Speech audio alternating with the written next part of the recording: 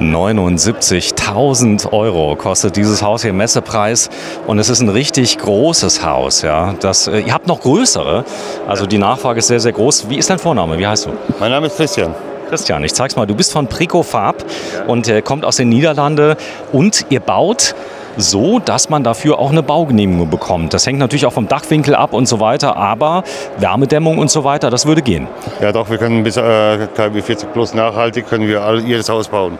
Äh, in jeder Größe, in jeder Ausführung, ein-, zweistöckig äh, und wenn es sein muss, auch mehrere Module nebeneinander.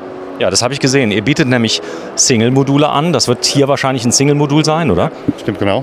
So, 25 Quadratmeter, ein Double mit 50 Quadratmeter und ein Triple. Das heißt, die werden dann miteinander kombiniert. Kann ich denn erstmal ein Single kaufen und später noch eins dabei? Ja, ich habe zufällig gerade eben auch mit einer jungen Dame gesprochen, die jetzt mit, zusammen mit ihrem Mann ein kleines Haus haben möchte, aber in der Zukunft Kinderwünsche hat. Wobei wir mit Haus jetzt schon so machen, dass sie in der Zukunft äh, ganz einfach erweitern kann. Äh, und Vorteil davon ist natürlich, dass äh, Sachen wie Küchen und alles schon drin sind, also die Kosten für eine eventuelle Nachrüstung eigentlich niedriger sind. Ja, das Ganze hat jetzt eine Breite von drei Metern oder drei? Wie weit sind wir? Jeder hier ist drei Meter, aber wir können im Grunde bauen äh, auf jede Breite, die wir haben möchten. Äh, so. Ihr habt eine gute Qualität. Ihr kommt aus dem Hausausbau. Das heißt, kennt euch aus mit Fenstern. Ja, stimmt genau. Wir bauen äh, neben, da wir Modulhäuser bauen, bauen wir auch selbst unsere eigenen Fenster und sind eigentlich eine komplett selbst-supporting Firma. So, die Seiten sehen aus wie HPL. Ist das HPL? Äh, hier die Seite, nein. Unten ist eine Zementplatte. Das ist eigentlich eine Platte, die in die Erde reingesteckt werden kann äh, und die keine Feuchtigkeit annimmt. Äh, wobei man eine Ebene äh, schaffen kann, dass der Innenflur gleich ist wie außen der Garten. So, man kann also die gleiche Ebene schaffen. Viele bauen sich ja hier noch Terrassen davor mit allem drum und dran. Bietet ihr sowas auch an? Habt ihr Partner, mit denen ihr das macht? Ja, im, im Grunde machen wir alles selbst. Wir können Terrassen machen, wir können auch äh, andere Ausbauten dran machen, Verandas, äh, Wintergärten. Eigentlich ein komplettes Paket. So, drei Meter heißt in Deutschland schon Schwertransport. Ähm, das bedeutet, es geht aber noch. Also es geht ja noch breiter. Ich glaube bis vier Meter irgendwas. Das hier ist jetzt ein Tagestransport. Kann man den als Tagestransport? Hier, hier ist ein Tagestransport. Wir haben eine komplette äh, Dauergenehmigung auf drei Meter äh, und transportieren eigentlich bis fünf Meter breit in einem Stück. In einem Stück Kosten ungefähr in Deutschland? Rund 10.000? Äh, abhängig von wo es hin muss, welche Genehmigungen da sind und alles. Aber Transport ist schon wirklich ein Kostenpost. Ja, ist ein Kostenfaktor. Alles wird immer ein bisschen teurer, aber die Nachfrage ist ungebrochen. Ihr bedient ja natürlich Ferienparks, nehme ich an, aber auch ganz normale Endkunden, oder? Äh, meiste bei mir verkaufen ist in diesem Moment äh, äh, Endkunden. Äh, Ferienparks sind in diesem Moment in, in Entwicklung. Wir haben einen Park in Wesenberg, wo nächstes Jahr 50 äh, Doppelhaushälften hingestellt werden auf zwei Stockwerke. Äh, und so sind noch ein paar andere Urlaubsparks, wo wir äh, größere Sachen hinstellen. Und auch in der Nachhaltigkeit, also die kommen auch in 40 Plus mit Nachhaltigkeitszertifikat, wobei es für Investierer auch interessant ist, um solche Sachen für die Vermietung zu kaufen. Ja, man sieht das. Der kommt hier immer mit einem Fahrgestell. Das ist, wird dann angeliefert. Was brauche ich denn für Fundamente? Punktfundamente? Was mache ich hier? Äh, normal gesprochen, ein Fahrgestell ist hier eine Ausnahme. Äh, meistens bauen wir ohne Fahrgestell äh, und werden die Sachen auf Schraubfundamenten gesetzt. Okay, das sind so ganz große Schrauben, die werden reingedreht, gell? Ganz große Schrauben, die werden reingedreht und auf Druck gesetzt. Also letztendlich wird äh, in dem Moment bestimmt, äh, wie viel Drucklast irgendwo auf einer Ecke ist. Und ich kann über das komplette Grundstück hin äh, die richtige Druckzahl haben. Äh, was ich normal bei einer Sondierung habe, äh, ist, dass ich ein paar Punkte habe, wo irgendwas kontrolliert wird. Dann sage okay, dann wird der Grund so sein. Beim Schraubfundament wird jede Schraube einzeln gemessen und eigentlich die optimale Druckverteilung auf das Haus weggesetzt. So, das ist ein Traum für viele Leute, sich kleiner zu machen, äh, weniger Geld natürlich auszugeben. Grundstücke, so langsam entwickelt sich das in Deutschland, oder? Ja, la langsam sieht man, dass da immer mehr Leute kommen, äh, die äh, anstelle von einer ganzen Menge Miete zu zahlen, doch lieber nach solchen Sachen gehen. Ähm, und mit der Nachhaltigkeit hat das auch einen Vorteil, dass man äh, gegen geringere Zinsen äh, Geld borgen kann und damit auch an bestimmten Moment Sachen bezahlbar machen kann. Ja, ich zeige das mal hier vorne. Das sieht so aus, als wäre die Farbe würde ewig halten, oder? Ist das so in der Sonne oder bleicht die aus? Nein, bleicht nicht aus. Hier das ist wirklich eine, eine gute Renolitfarbe und die hat sich im Fensterbereich schon in den letzten 40 Jahren bewertet. Äh, und äh, dieselbe Folie wird ja auch gebraucht für, äh, für Fassadenteile. Die Dämmung, ist das Schaum? Habt ihr Schaumdämmung? abhängig von, ob es nachhaltig sein muss oder nicht, kann halt mit Schaumdämmung sein. Ja? Okay, wir können uns können dort gleich mal reingehen. Messepreis 79.000 Euro. Ähm, wenn ich ein großes Haus haben möchte, so ein Triple, wo liege ich da, ich sag mal, normalerweise? Komme ich, äh, ich sag mal, mit 100, 130, 150? Klappt das? Nein. Nein. Bisschen mehr. Ja, ein bisschen mehr. Das ist, alles ist abhängig von, wie ich bauen möchte und was ich haben möchte. Äh, wenn Sie ein Auto kaufen, auch wenn ich ein A3 kaufe, ich kann für, für 35.000 kaufen und ich kann für 135.000 kaufen. Und der Unterschied ist meine eigenen Wünsche. So, ich zeig's mal hier vorne. Also das Haus hat 33 Quadratmeter Grundfläche und erhält immer eine Baugenehmigung. Ähm, habt ihr schon mal keine bekommen? Nein. Immer? Immer. Das ist ja geil. Ja. Ja, normal gesprochen, äh, das Haus wird gebaut nach Bauvorschriften, die in Deutschland gelten sollen. Das ist genau dasselbe wie in Österreich bauen wir auch nach den Vorschriften von unserem Baumeister.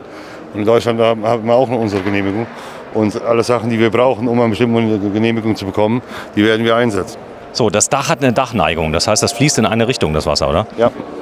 Okay. So, dann gehen wir mal drauf. Das heißt, das kommt hier mit diesem Holz auf der Veranda, das ist dabei? Ja, bei jedem Haus ist hier dabei. Ihr habt verschiedene Haustypen, nehme ich an, oder? Ja, wir, im, im, Grunde, wir haben eine ganze Menge Haustypen und danach ist alles individuell äh, einzurichten. Also ich kann selbst wählen, wie ich ein Haus haben will, in welcher Größe, in welcher Ausführung und wie in dem Moment äh, das Haus gebaut werden muss. So, ich zeig mal, wenn ich dann noch E-Bikes habe zum Beispiel, dann kann ich mir so ein kleines Haus noch mit dazu bauen lassen im gleichen Look, oder? Ja, können Sie. Hier, das hier ist ein Sanitärgebäude, was Sie hier haben. Äh, das ist ein Privatsanitärgebäude für auf Campingplätzen, wo ein komplettes Badezimmer drin ist. Also Toilette, Dusche und äh, Waschbecken. Achso, das kann ich mieten dann praktisch, kann, kann einzeln. Mieten, ja. ja. Okay, toll. So, jetzt gucken wir mal hier den Eingang. Hier habt ihr eine große Doppeltüre eingebaut. Ja. Ähm, die schafft natürlich Raum. Wie, wie ist die Reaktion hier auf der Messe von dem Haustyp?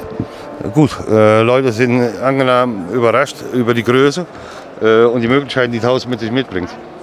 So, wir sind ja hier auf einer relativ schmalen Breite. Das ist ja auch wichtig, wenn ich jetzt ganz viele Einheiten nebeneinander platzieren möchte. Also ich will jetzt auch mehrere bauen. Und ich habe gesehen, ihr habt die eine Seite, auf der Seite ist weiß. Das heißt, ihr könntet schon mal zwei Häuser nebeneinander stellen, oder? Können wir machen. Äh, wir können auch in Serie verspringen lassen oder wie auch immer. Für, für uns wichtig ist, ist, dass Leute sich wohlfühlen. Und wenn man nach einer Seite hinbaut und man stellt sie nebeneinander, dann hat jeder seine eigene Privacy in einem Garten. Stimmt, keiner guckt dem anderen direkt ins Zimmer rein. Hier vorne siehst du sehr, sehr schön, wie schön ihr baut. Ich nehme an, die Tür, die wiegt ein bisschen, oder? Die Tür, die wiegt eine ganze Menge, ja. Ja. So, und da hast du vier große Scharniere mit drin. Du hast auch eine Mehrpunktverriegelung hier oben drin. Ja. Das heißt also, klar, es macht Sinn, natürlich eine Alarmanlage. Das ist ein normales Haus eigentlich, oder? Ja, das hier ist gebaut wie ein normales Haus. So, wir gehen mal rein. Das ist jetzt so eine Wohn- und Essbereich hier drin? Ja, stimmt genau. Wir haben im Grunde zwei Stühle. Das ist eigentlich für zwei Personen maximal. Äh, aber wohl, wohl einen großen Esstisch. Ja, Leute haben zwar heutzutage Laptops und alles, möchten sitzen. Wenn Freude kommen, dann haben sie auch ein bisschen Platz nötig, um zu sitzen. Also wir haben dafür gesorgt, dass wir sowohl im Essbereich als im Wohnbereich mit mehreren Leuten im Haus halten können. So, und das ganze Haus kommt fix und fertig eingerichtet. Das heißt also Möbel, Küche, Tisch ist alles dabei. Äh, bei den 79.000 sind die Möbel nicht dabei. Küche, Badezimmer, ja. Küche und Badezimmer, ja. So, das heißt also, die Einbauküche ist mit drin, aber alles, was man rausnehmen kann, ist nicht dabei. Alles, was man rausnehmen kann, ist nicht dabei. Habe ich das schön gesagt? Ja, das ist eine gute, gute Beschreibung von dem Ganzen. So, das heißt auch hier, diese Deko ist nicht dabei? Nein, aber die ist dabei zuzukaufen, also keine Angst. Kann ich den, ähm, ich sag mal, kann ich hier was an die Wand schrauben? Wie man sieht, geht es ja, oder? Ja, normal haben wir normale Schrauben reingebracht. Also Sie sehen alles, alles ist so verarbeitet. Man kann überall durch das ganze Haus überall Schrauben gebrauchen und alles ist, äh, alles ist fest. Ja, sehr auffällig ist die Raumhöhe. Was habe ich hier für eine Stehhöhe? Äh, normal 2,55 äh, 2,55 Meter. Okay, das ist ordentlich. Weil die Innentüre nach holländischem Maß 2,31 Meter hoch ist. So, Architektentüren habt ihr reingemacht. Und das können wir uns gleich mal anschauen. Das Bad hier ist alles, ist stark, wie die Leute hier reagieren in Karlsruhe, oder? Ist das schön, die Messe für euch? Ja, ist eine gute Messe für uns. Dass man das mal sieht. So, die, die Fliesen sind echt im Bad? Nein, das sind alles äh, Fibotrespa-Platten. Das sind äh, eigentlich eine Art Holzfaserplatte äh, mit einer Beschichtung, äh, die ewig halten tut. Die, die ewig hält. Okay, das ist interessant. So, wir gehen mal kurz durch, dann lassen wir euch mal raus, dass wir die Leute mal gucken können. Und hier ähm, ist das Schlafzimmer. Ist das groß genug, das Schlafzimmer? Oder ist das zu klein für Sie? Würde reichen. Würde reichen, ja. Sie sind, sind, sind alleine oder zu zweit? Zu zweit. Zu zweit. So, und das ist Bett, Bettmaß, was haben wir, Meter 20? Äh, nee, Meter 40. Meter 40, ja. Wenn man sich lieb hat und ein bisschen rankuschelt, dann äh, findet man noch hier Platz. Aber das ist ja Maß, können, das... Können wir vielleicht mal Probe liegen? ist das Bett dabei im Preis? Nee, normal nein. Normal nein. Okay, das heißt, da stelle ich mein eigenes Bett rein. Ja, also die meisten Leute haben ihr eigenes Bett. Es ist nicht so, wenn sie ein Tiny House kaufen, dass sie kein Bett mehr haben. Stimmt, ja. Aber, aber viele wollen das ja vom Architekten so mehr oder weniger eingerichtet haben. So ein kleines bisschen. Ja, gucken wir uns. Normal gesprochen können wir auch ein Möbelpaket dazustellen, äh, also dass wir das komplette Haus einrichten können für Leute. Ja, dann werden, wird eigentlich gefragt nach den Wünschen, was sie gerne haben möchten. Und von den Wünschen aus wird dann gesagt, okay, äh, dann richten wir so und so ein. Kriegen sie eine Zeichnung davon, wie es dann äh, letztendlich sein wird. Äh, aber das bekommen sie auch schon, wenn sie bei uns ein Angebot für ein Haus erstellen. Dann machen wir auch erst einen Grundriss und danach äh, machen wir eine 3D-Zeichnung von dem letztendlichen Endprodukt. Äh, weil wir finden wichtig, dass die Leute auch wirklich etwas bekommen, was die auch schön finden. Ja, gut ist natürlich hier, dass du keine Tür hast. Das heißt, das öffnet den Raum noch mal ein kleines bisschen. Ein echtes zwei Personen. Und jetzt müssen wir uns einmal noch mal das Bad angucken. Ja, das ist umlagert hoch 10. Ich glaube, das Badezimmer ist so das Wichtigste. Leute gucken so ins Bad rein. Das ist so, äh, wenn das Bad nicht schön ist, kannst du das Haus nicht verkaufen. Ne? Äh, und im Badezimmer muss man sich wohlfühlen, aber man muss auch ein bisschen Platz haben. So, das machen wir jetzt mal gerade. Warte mal, ich gehe mal kurz rein. Wahnsinn, es ist das erste Mal leer, dass ich das jetzt hier sehe, oder? Ja, das ist eine ganze Sache voll gewesen. So, Marmoroptik. Ja, So, und das Ganze auch mit einer riesen Dusche. Echtglas. klar. So, grohe Armaturen. Sieht, es sieht aus wie Grohe, zumindest Ja, mal. ist auch Grohe. Ist Grohe drin. So, dann habt ihr das Waschbecken. Das ist äh, ordentlich. So ein schönes Badezimmer haben viele nicht zu Hause, oder? So, ich denke, dass wir uns Mühe geben, um was Schönes zu machen und das bezahlbar zu halten. So, das ist hier mit da. Äh, Im Preis ist die Mehrwertsteuer schon drin, oder? Die draußen steht. Im Preis war die Mehrwertsteuer drin, ja. So, die ist in den Niederlanden wie viel die Mehrwertsteuer? Äh, In Holland 21, aber wenn wir in Deutschland liefern, müssen wir die deutsche Mehrwertsteuer berechnen. Okay. Wunderbar. Ich gehe mal ganz kurz raus, dann filmen wir es noch einmal, lassen die anderen wieder rein, denn äh, Nachfrage ist sehr groß. Wie, wie, wie viele würden Sie kaufen von den Häusern hier? Mir wird eins reichen. Eins reichen. Ist das nicht zu klein, so auf Dauer? Kann ich jetzt nicht sagen. Im Moment nicht, nee. Im Moment nicht. So, wir gehen schnell raus. Es ist umlagert. Das, das ist ja fast hier wie im Europapark, muss ich sagen. Ja. Die Leute können ein Ticket ziehen und dann kommt man irgendwann mal auf die Achterbahn. Ja, da, normal, normal gesprochen würde ich sagen, wenn ich für jeden äh, Besucher einen Euro bekommen würde. dann Ist, ist die schön, die Messe hier? Gefällt Ihnen die Messe? Das gefällt mir sehr gut. Ja. Warum denn? Man hat eine große Auswahl, man kann sich Informationen holen, die man normalerweise so sich zusammenglauben müsste, alles an einem Ort. Das ist prima. Was, was ist denn schön an Tiny House für Sie? Was, was ist denn, weil ist ja schon ist gemütlich, gehen Sie mal zu Ikea, da ist es auch ganz nett manchmal eingerichtet. in den Kojen jeweils, gell? zum Beispiel. Okay, vielen, vielen Dank. So, ja, dann äh, machen wir noch ein bisschen Werbung für euch. Preco Farb heißt das Unternehmen. Ihr kommt aus den Niederlanden. Wo, wo seid ihr ungefähr? Wir sind in Emmen, äh, haben wir eine, eine Firma, eine Produktionsstelle. Äh, daneben haben wir noch eine Produktionsstelle in äh, Hannover und eine in äh, Klasinaveen. Äh, wir haben einen Ausstellungspark in Wesenberg und in Bodenwöhr. In Wesenberg, in Deutschland? In Oder? Wesenberg in, Deutsch, in Mecklenburg-Vorpommern. Da, da sind, sind ungefähr wie viele Häuser stehen da? Äh, ist abhängig. Das kann eins sein oder das können zwölf sein. Okay.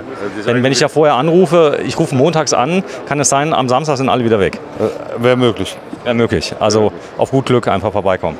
Äh, oder vorher anrufen, dann weiß man, wie viel kommen. Äh, und man kann auch immer den Weg nach Holland machen. Äh, jeder ist immer herzlich eingeladen bei uns. Willkommen. Kaffee ist immer fertig. Und eine gute Bedienung und ein guter Service ist dann. Sehr schön. Dein, dein Vorname? Wie ist der Name? Christian. Christian, so hier vorne stehen wir. Das ist jetzt was ganz anderes. Von der Optik habt ihr ja hier den Vogel abgeschossen. Weil das hier kennt man ja so mehr oder weniger auch auf Ferienparks und so weiter. Aber das hier, das sieht ja aus wie eine richtige Villa, oder? Ja, normal, gesprochen denke ich, qualitativ, dass die nicht miteinander zu vergleichen sind. Okay, das musst du ja sagen. Vielen, vielen Dank. Bis zum nächsten Mal. Die New Housing in Karlsruhe 2023. Tschüss. Ich zeige euch noch, hier vorne sind noch so ein paar Haustypen in der Slideshow, dass ihr das Ganze mal sehen könnt. Also Preco Farb heißt der Laden. Und äh, ja, das sind so typische Häuser, die hier gefertigt werden. Vielleicht fahren wir mal hin. Tschüss.